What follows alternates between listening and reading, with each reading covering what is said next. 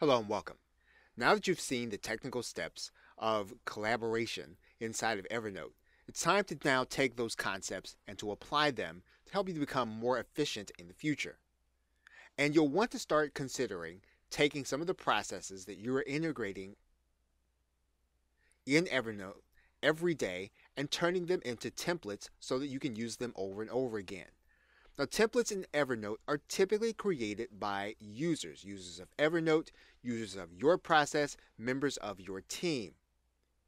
These templates are not specific to Evernote. They can be used in any system, but they are extensively used by Evernote users. The templates that you create for your processes should be document based, either word processed or presentation style. Now, templates should carry timeless information.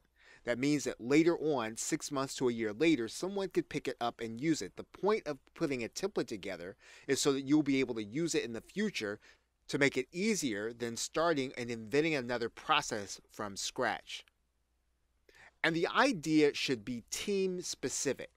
What process in your team depends on a routine executed by the team or its members? The question is what routine process could you pass on and outsource as a team? What is it that you're doing that someone else could be doing later in the future? Now, as a team grows and matures, templates can be easily passed on to others to do the process. Now, in Evernote, templates should be kept for a team in a specific folder when it's created. Now, another way to think about these templates is that you are documenting tedious processes that depend on all of the steps being followed correctly. A template is simple for any team member to work on and be fairly consistent to what the team has already been used to.